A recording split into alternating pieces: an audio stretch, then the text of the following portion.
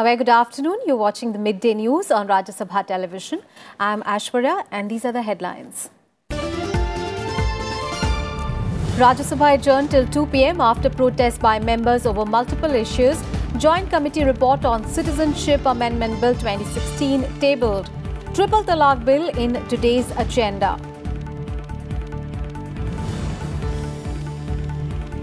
Doubts raised on my statement on HAL contracts incorrect and misleading, says Defence Minister Nirmala Sitharaman in Lok Sabha.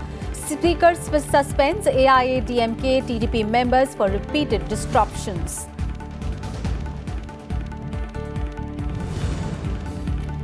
BJP says allegations by SP and BSP of political vendetta over possible CBI questioning of Akhilesh Yadav in illegal mining case unfounded says a grand alliance cannot be an open license to loot.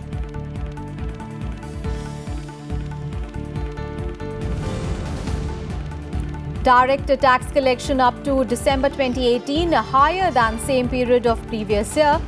Provisional figures show gross collections at 8.74 lakh crore rupees that is 14% uh, higher.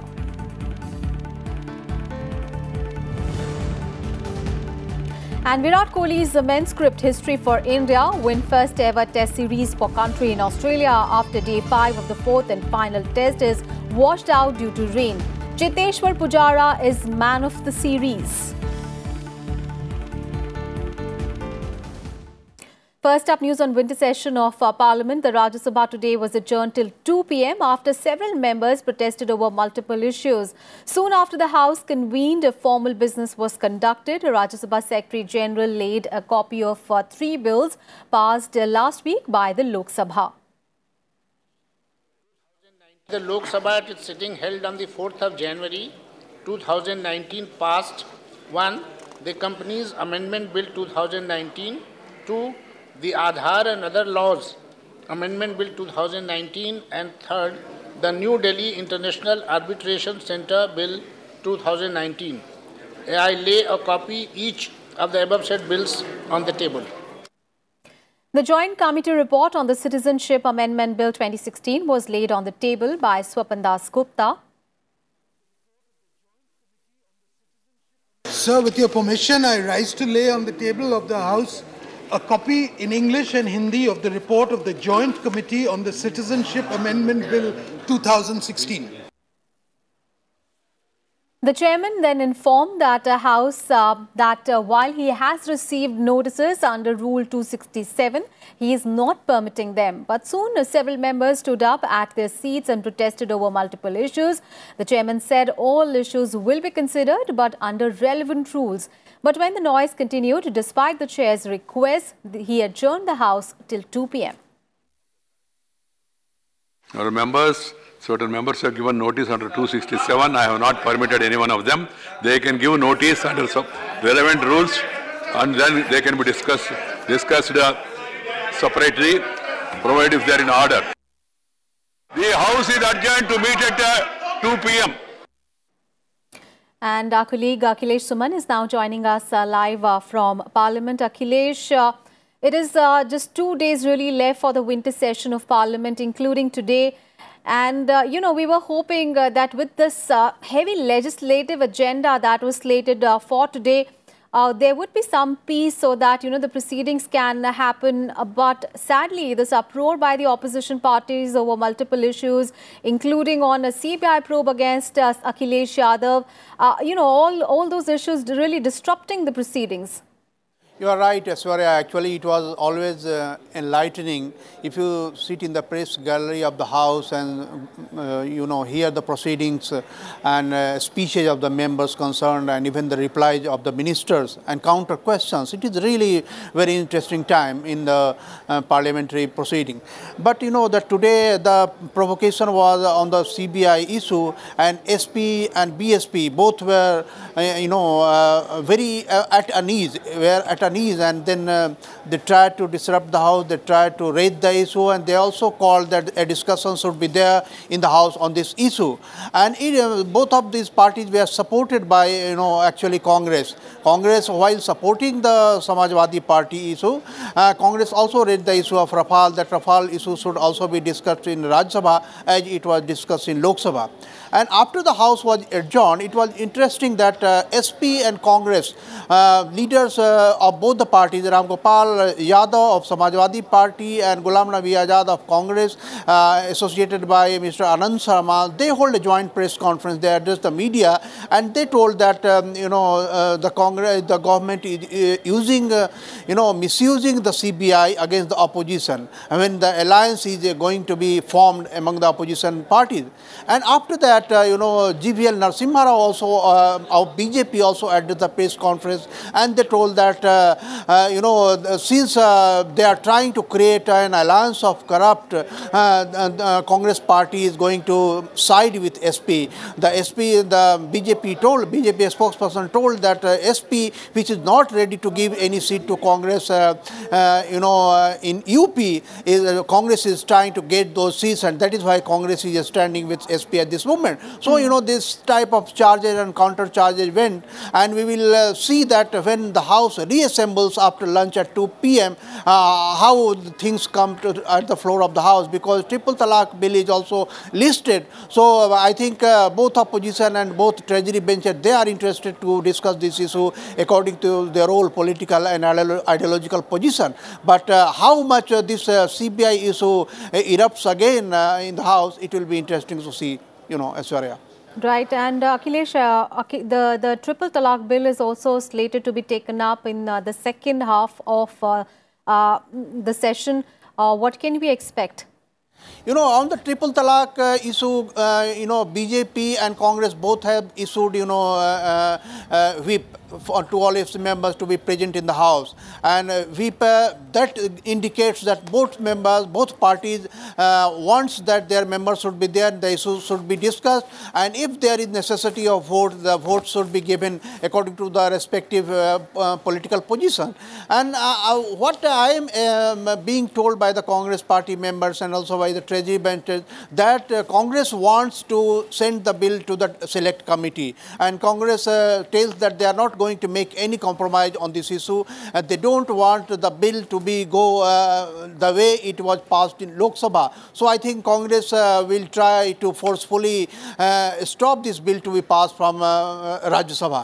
And it may be associated by, by at least uh, Samajwadi Party and RJD members who also hold the same position. Mm -hmm. But the BJP will try to get the bill passed because this is the uh, last but one day and BJP wants that once this bill is passed from Rajya Sabha, it will be uh, uh, enacted and this will be a great justice to the women in the Muslim community. So I think uh, it will be interesting time post lunch in Rajya Sabha. Okay. Right, uh, Akhilesh, you stay with us. We'll just come back to you.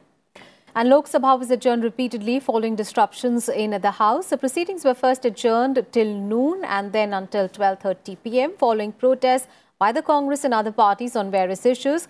As the House met at 12.30 pm, Speaker uh, suspended the members of AIADMK and TDP for disrupting proceedings. Meanwhile, in a statement in Lok Sabha Defence Minister Nirmala Sitharaman termed the doubts raised by the Congress over her statement on HAL contracts as incorrect and misleading. I would like to set all doubts to rest by adding that I have received confirmation from the HAL that during 2014 to 18, contracts amounting to 26,570.80 crores of rupees have already been signed with HAL orders approximately 73,000 crores of rupees are in the pipeline. I will allow you. The details of these orders are placed at the Annexure 1 and Annexure 2 respectively. The above documents clearly confirm the correctness of my statement made on the floor of this House and that doubts raised in this regard are incorrect and misleading. And let's go back to our colleague Akhilesh Suman. Akhilesh, again we saw repeated disruptions in the Lok Sabha as well, uh, leading uh, the speaker to suspend some of the members of the AIADMK as well as TDP. But a very important defence minister's statement really uh, coming after Rahul Gandhi accused her of lying in parliament over the Rafale issue. Uh, it is really a battle lines and drawn over the issue of Rafale, you know, Aishwarya. And once the battle lines, political battle lines are drawn, it becomes very difficult for uh, uh, withdraw it. So Congress has made a position that they have to uh, fight the next election on the issue of Rafale, and that is what uh, you can sense from the whole proceedings, the way uh, proceedings are being disrupted in both houses of parliament. You can understand that Congress is adamant to keep this issue alive, whatever reply comes from the government side. So, so I think that there is no going back as far as Congress is concerned. But BJP and the you know the government is trying to you know address the people from the floor of the house that yes, what Congress is going, telling it is a sheer lie and the facts does not, uh, you know, support the assertions made by the Congress. And that is what Defense Minister Nirmala Sitharaman has done um, just uh, after the question hour. So, so um, uh, actually after the zero hour. Mm -hmm. So, you know that uh, this is the situation and this is the situation. It may uh, uh, be, you know, dragged by the Congress till the House is getting uh, sine die tomorrow because mm. uh, what I am hearing, what I am getting from the Congress party that uh, this is the issue very important for them and this is an issue also important right. so that they can, uh, you know, manage the whole opposition together. So right. I think um, in the next stop also we may see some rever uh, reverberations on this All right. Akhilesh, thank you so much for all those uh, react, reactions there. And the defense minister's reaction came after Rahul Gandhi accused her of lying in parliament on the Rafale issue. Rahul Gandhi, in fact, tweeted a media report uh, which claimed that not a single rupee of the said uh, 1 lakh crore rupees uh, went to HAL, uh, as not a single order from the Rafale deal has been signed till now. The media report cited senior HAL management officials in order to back its claim. Meanwhile, the BJP has alleged that the SP and the BSP's allegation of political vendetta on the possibility of the CBI questioning former Uttar Pradesh Chief Minister Akhilesh Yadav in a case of illegal mining is unfounded. The issue was raised in the Rajya Sabha by the members of the SP and the BSP. The BJP alleged that by targeting the centre, the SP and the BSP are seeking uh, to give a political colour to the investigations as their political existence itself is at stake. इनकी जो दलील है कि हम गठबंधन बना रहे हैं, इसलिए हमें छूट मिला जाए। हमारी भ्रष्टाचार के लिए हमारे ऊपर कोई कार्रवाई ना हो, इस प्रकार की अपील यदि वो चाहते हैं, कोर्ट के सामने जाकर दे सकते हैं, क्योंकि वो कह सकते हैं कोर्ट को, हम भ्रष्ट हैं, फिर भी हमें हमें हमें छूट दिया जाए। इस प्रकार की दलील प्रस्तुत करके अपने आप को जलील करने के काम कर रहे हैं। जनता को मालूम है, ये गुंडागर्दी करने वाली सरकार है, भ्रष्टाचार में लिप्त सरकार है, जिस प्रकार गायत्री प्रजापति को संरक्षण मिला था खुद मुख्यमंत्री के रूप में अखिलेश यादव का, जिस प्रकार उनको बचाया गया, सुप्रीम कोर्ट के आदेशों के बावजूद उन पर कार्रवाई नहीं होने दिया, उनको अरेस्ट नहीं होने दिया तो इनकी क्या इतनी बड़ी जो मित्रता है उन पर इस प्रकार का बड़ा प्रेम क्यों है ये प्रदेश की जनता उत्तर प्रदेश की जनता भली भाली जानती है And the SP and the BSP also came out with their defense, stating that the issue of uh, wrongdoing is against officials and not Akhilesh Yadav. Akhilesh may face a CBI questioning, according to the agency. FIR made public on Saturday. The agency had also carried out searches at 14 locations. कानून तो बनाए थे Akhilesh government ने। उसका उल्लंघन किया अगर किसी ने तो अखिलेश वहाँ कहाँ से आ जाते हैं? लेकिन उत्तर प्रदेश का एक मंत्री दिल्ली में आकर प्रेस कॉन्फ्रेंस करता है और अखिलेश से सीबीआई पूछताछ करे, इसकी मांग करता है। इसकी, इससे क्या निष्कर्ष निकाला जा सकता है? जैसा कि अभी रामगोपाल जी ने कहा कि अधिकारी के ऊपर एफआईआर है और एफआईआर इस बात की है कि उसने प्रदेश में जो कानून बनाया गया सरकार द्वारा, उसका उल्लंघन करते हुए अलॉटमेंट किया। तो अगर उल्लंघन करा है तो किस चीज़ का किया है? वो सरकार के निर्देशों का, आदेशों का किया है, जहाँ पर कि मुख्यमंत्री के रूप में अखिलेश यादव जी बैठे हुए थे। तो उनके ऊपर कहाँ से आँच आती है? Meanwhile, BJP MPs protested inside parliament premises against attack on BJP MP V. Muralidharan's ancestral home in Kerala. Union Minister Prakash Javadekar called the attack as, as condemnable and uh, demanded the resignation of the left government in the state. On Saturday, unidentified persons threw country-made bombs at Muralidharan's residence following protests and violence in the state. Kerala witnessed unprecedented violence between the BJP and the CPIM workers and uh, both the parties have accused each other of orchestrating violence in the state following a hartal over the entry of a women in Sabarimala. यही चरित्र है वहाँ की सरकार का वहाँ मांग क्या करेंगे उसकी भर्सना कर रहे हैं क्योंकि यहाँ पियान पिनारी के गृह ज़िले में कन्नूर कन्नूर में ही ज़्यादा हिंसा होती है it has become a political murder place तो यही है and therefore we are condemning the violence and we are asking justice And in midday news, we'll take a very short break here. We'll be right back. Stay tuned.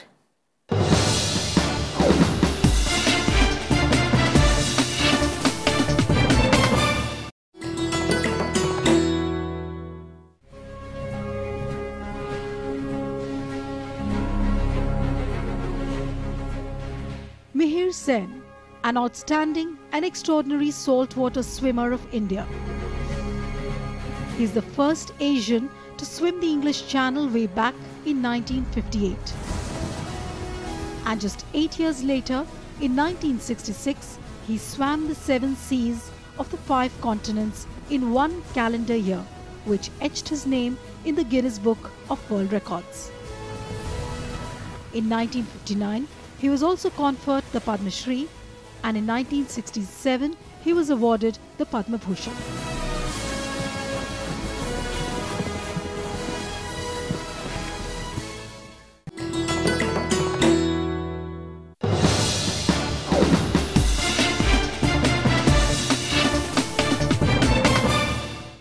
Welcome back. Direct tax collections during the first nine months of the current financial year rose more than 14% compared to the corresponding period last year. The provisional figures of direct uh, tax collections up to December 2018 show gross collections at 8.74 lakh crore rupees. Refunds amounting to 1.3 lakh crore rupees have been issued during April 2018 to December 2018 which is 17% higher than refunds issued during the same period in the preceding year. The net collections after adjusting for refunds have increased by 13.6% to 7.43 lakh crore rupees during April to December 2018.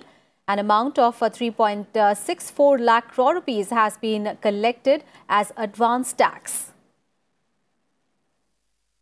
And Finance Minister Arun Jaitley has said that the savings made through Aadhaar's implementation uh, can fund three public welfare schemes of the magnitude of Ayushman Bharat. Terming Aadhaar as a game changer, Jaitley said in a post that its uh, use in the delivery of subsidies uh, have uh, helped to save uh, 90,000 crore rupees in the last few years by eliminating several duplicate, non-existent and fake beneficiaries.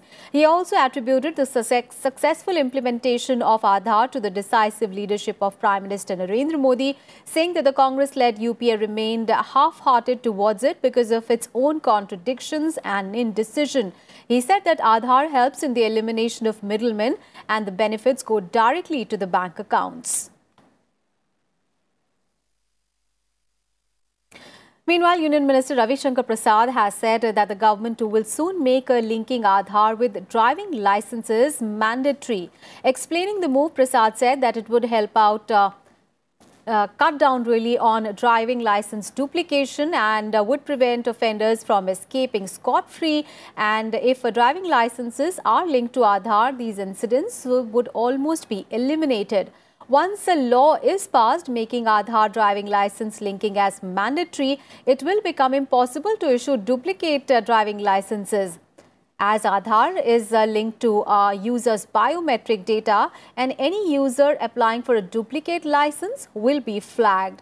Ravi Shankar Prasad also said that the digital payment transactions in the country have increased to over 2,070 crore rupees in 2017-18. And the centre has set up a high-level committee for the implementation of Clause 6 of the Assam Accord. The committee, headed by MP Bezbaruah, is to submit its report within six months. The nine-member committee has been given a broad mandate and includes eminent Assamese persons from different fields. Among other things, it will examine the effectiveness of the actions taken since 1985 to implement Clause 6 of the Assam Accord. It will hold discussions with various stakeholders, including social organizations, legal and constitutional experts, eminent persons from the field of art, culture and literature, conservationists, economists, linguists and sociologists.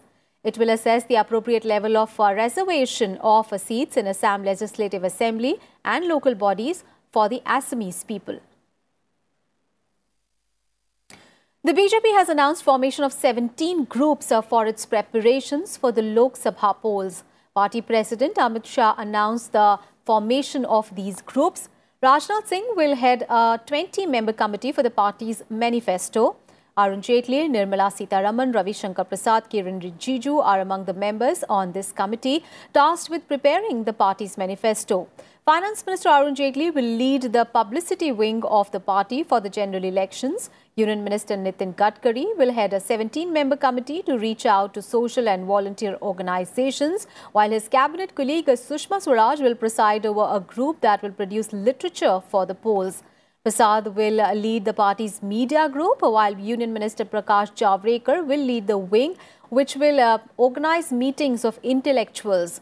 All parties' national spokespersons will be part of its media committee to be headed by Prasad. A committee will deal with the tours of the party leaders, uh, another with social media, while with a third group whose 13 members include a Party General Secretary Saroj Pandey will reach out to the beneficiaries of various government schemes.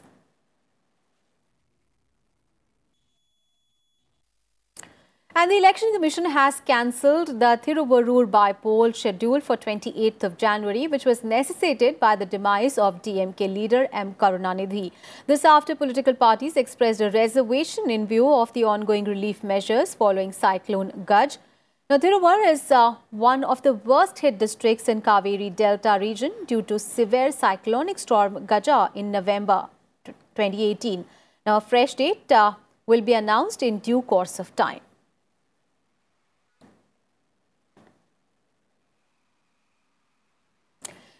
Sports news now. India created history by winning their first ever test series 2-1 on the Australian so side, uh, soil after the fourth and final test between India and Australia ended in a draw. And with this win, India ended its 71-year long wait. The Australian side was trailing India by 316 runs in their second innings before the umpires called off the match. India bundled out Australia for 300 runs in their first innings in reply to 622 for 7 and enforced the follow-on. For Australia, Marcus Harris was the highest scorer in the first innings with his knock of 79 runs, while for India, Kuldeep Yadav was the pick of the bowlers as he took a five-wicket haul in the first innings. Now, with 193 runs uh, scored in the first innings, Cheteshwar Pujara was adjudged the man of the match as well as man of the series for his superb uh, 521 runs, including three centuries in the series. And with the win, Virat Kohli also became the first Indian as well as the first Asian captain to win a test series in Australia. President Ramnath Kovind, Vice President M. Venkaiah Naidu and Prime Minister Narendra Modi have congratulated the Indian side on its win. It's obviously a very proud moment, um, more so because um, for the last 12 months we understand what we have gone through as a team. Uh, we understand the kind of cricket that we have been able to play. And I was just mentioning the fact that after losing tosses as well, we've been in the competition throughout the games that we've lost. Um, so we understood as a team we're on the right track. But the fact that the reward has come in the most historic series for Indian cricket is, you know, cherry on, on top of the cake. You know, changing history or creating history is still, I would say, not what I'm thinking of. it's pure satisfaction of the hard work of 12 months and to understand that what we believed in has been proven right. And regardless of the whole world being against you, if you're striving in the right direction and you have good intent, God's going to reward you. So that's what I'm more happy about. And Vice President M. Venkaiah Naidu inaugurated uh, the National Cadet Corps Republic Day camp at Cariappa Parade Ground in New Delhi today. More than 2,000 cadets uh, from the three wings of the NCC Army, Navy and Air Force participated in the camp. Speaking at the occasion, the Vice President highlighted the importance of discipline and character building. He further said that the camp reflected the spirit of national integration as participants from the farthest reaches of the country participated in it. NCC mandatory or compulsory, going by what is happening in the country, the threats that we have, and also the attitude of one of our neighbor. There is every need to promote discipline, every need to promote commitment, every need to promote patriotism among the younger generation. NCC is one way to inculcate such habits and also provide such commitment. We need to promote women's participation also in a big way. See the cadets here, the youngsters, the girls, they are also brimming with confidence. So we, if you give them an opportunity to them, they will also excel. And that's all in this edition of uh, Midday News. Thanks for watching.